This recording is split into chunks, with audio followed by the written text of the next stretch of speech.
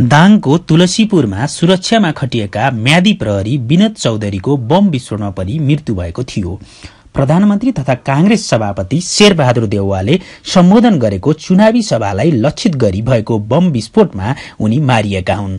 दिउँसो तीन बजे भएको विस्फोटमा परेका उनलाई साँझ सात बजे मात्र कोहलपुरको मेडिकल कलेज शिक्षण अस्पतालमा पुर्याइयो भने भाषण गर्न गएका नेता कार्यकर्ता चाहिँ हेलिकप्टर चढेर राजधानी फर्किए।